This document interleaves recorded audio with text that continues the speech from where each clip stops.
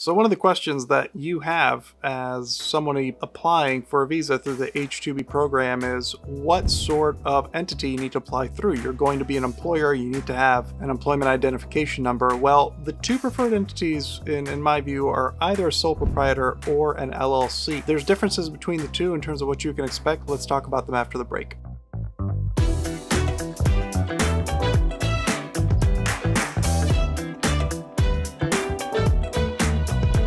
Hey, this is Damjan Denoble. This is Law Great, the channel where I give you reliable information to help you make better decisions and avoid costly mistakes. And this is video number high number in our H2B Nanny series.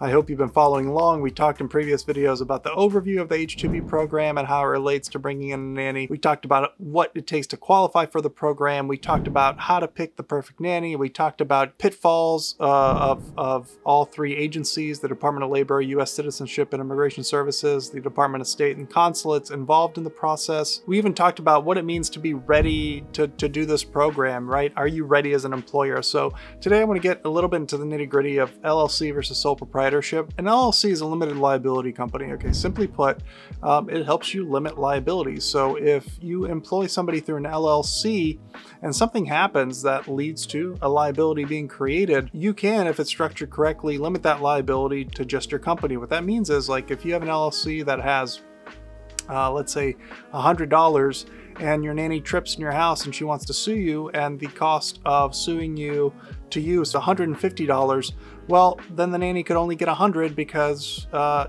you would be protected by that limited liability vehicle. Sole proprietorship doesn't give you that same sort of protection in theory. Now that's something that you always want to consult with a lawyer about who's structuring your llc structuring your contract so that that llc liability is uh, maintained Okay. The other thing that's nice about an LLC is just strictly uh, in terms of organizing your application, you can give an LLC whatever name you want. With a sole proprietorship, you're usually using some variant of your name. The names of companies in this program are publicly listed, and so there is an element of privacy to using an LLC vehicle. Both vehicles require you to get a federal employment ID number, both require you to, you know, go through the state workforce agency. So there's no really administrative burden difference. The only other thing is that uh, I, I, can't prove this, but an LLC might carry more weight um, on the one hand with the Department of Labor, but I have never had a sole proprietorship rejected. I could see the USCIS being maybe a little more skeptical of a sole proprietorship to, to employ somebody.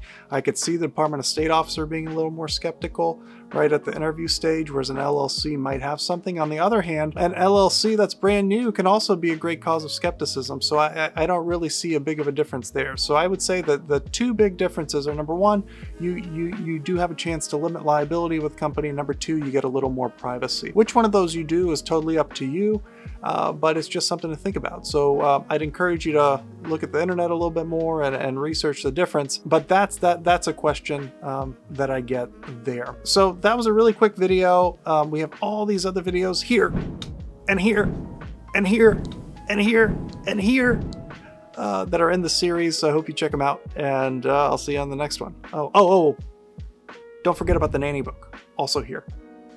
Thanks.